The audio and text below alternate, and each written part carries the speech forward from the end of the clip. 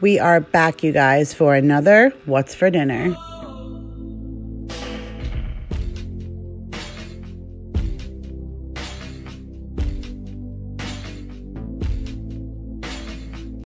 Hey guys, Kira here from 50 Shades of Mom, back to share another What's for Dinner video. A lot of these clips are from my mom's, and every time I would share a meal plan, you guys asked if I would share some of these dishes. So here we are sharing my chicken parmesan dish. This is one of my personal favorites, and it is my mom's pasta sauce, you guys. So this was like the perfect unity. My chicken parm and her sauce, so delicious. We did that with a side of rigatoni pasta, and of course, I have an egg everything New York bagel right alongside of it, buttered that I was dipping in the sauce. Absolutely fabulous. Okay, guys, so no fancy plates at my mom's house, but tonight we did that bacon wrapped filet mignon.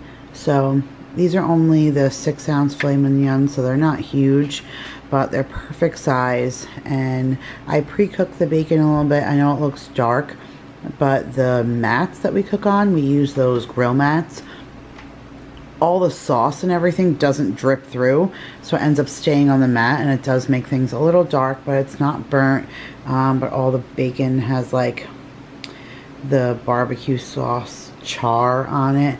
And my dad used some of the Jack Daniels glaze from TGI Fridays and basted the steak and then we put our baked potatoes on the grill you guys. Oh so delicious. And I have butter and sour cream, of course, with salt and pepper.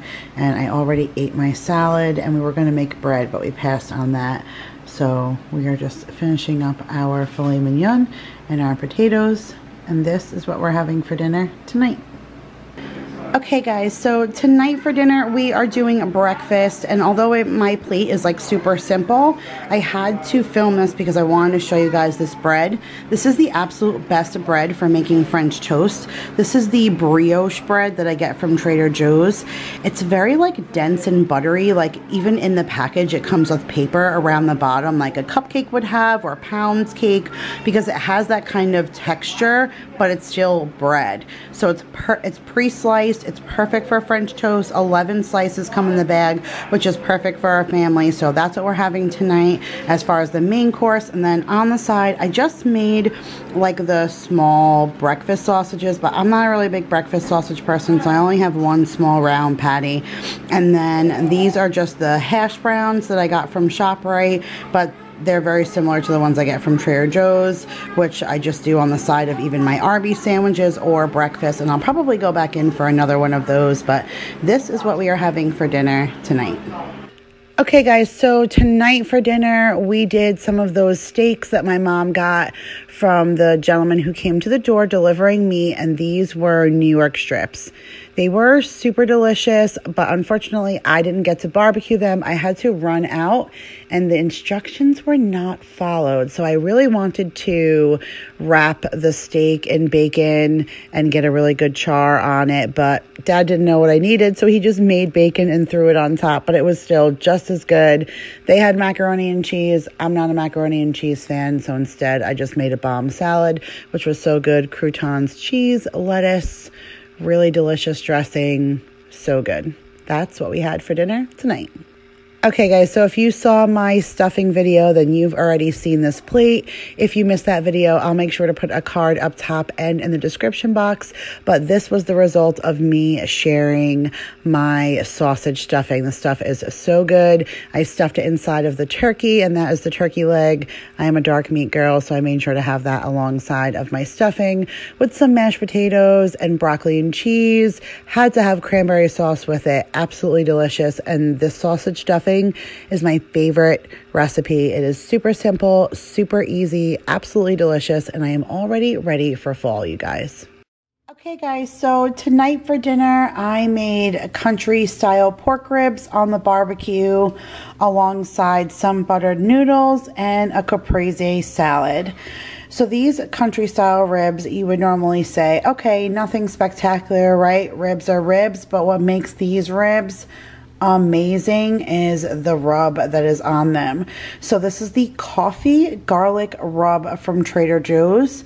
It made like the perfect crust on the ribs. It gave such a delicious flavor. I already got to try it because I cut up the rib to put in the kiddos plate and it um, the rib almost didn't make it to their plate because I couldn't wait to make my own. It really is so good. It was super tender.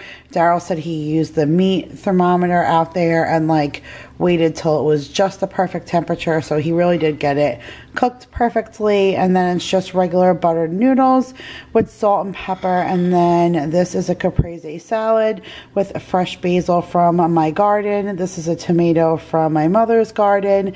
And then it's just salt, pepper, and some parm cheese. And then that balsamic glaze from Trader Joe's. So this is what we are having for dinner tonight. Okay guys, so tonight for dinner I had mentioned I wanted to take it nice and easy and we were doing a grilled cheese and soup. So this is actually a like 12 grain seed bread that I got from the Dollar Tree and I just grilled that up in the pan with just a couple of slices of American cheese. And then for the tomato soup, this is the tomato soup that I got a while back from Trader Joe's and I kept putting it on the meal plan and then it just kept getting bumped, but I am so sad that it took us so long to try this because this is really good. Now, I grew up on like Campbell's tomato soup and I love that flavor, but that is not a good quality soup to have. But it's very hard to find an organic creamy soup. Not so much any kind of brothy sear, uh, soup, that's very easy to find, but something creamy based like this, I, I struggle to find. And I like creamy based soups, but this is really, really good. And I'm so glad that I got it. And normally I would crush up like a crazy amount of Ritz crackers because I like my soup to be like thick like oatmeal with Ritz crackers. I know it's crazy, but it's just something I've done since I'm a kid. But Daryl ate all of the crackers while I was gone, and I don't go to Trader Joe's until Friday. So I'm going to do what everybody else does, which I normally don't do, but I'm going to dunk my grilled cheese in the tomato soup and that's how I'm going to eat it. So this is what we're having for dinner tonight. Okay guys, so tonight it is football and tacos. So I'm so excited. I didn't even know that Madison was a Cowboys fan, but the Cowboys are on tonight. So we have them on the TV and we made a bunch of tacos and we're all just hanging out and eating tacos and watching football. So good times here and I made rice in my Instapot, which actually came out really, really good. Uh, I didn't have beef broth, which I usually use in the Instapot, but I used bouillon cubes instead. And then I use that cheese dip great value Walmart brands like flavor packet instead of taco seasoning and I just put it in the Instapot and it's fluffy and cooked and it tastes delicious. So we have that alongside of our just regular tacos. So we have ground beef and I have nacho cheese in there and shredded cheese and lettuce, tomatoes, sour cream, and we have a soft one and a Stand 'n Stuff. And that's it guys. That's what we're having for dinner tonight. And this is the last clip in this what's for dinner video. So if you guys like these kind of videos, make sure you give this video a big thumbs up. If you're new here, hit that subscribe button. I post a What's for Dinner once a month here on the channel. For everybody else, guys, thank you so, so much. I love you all so much, and I'll see you in the next video. Bye, guys.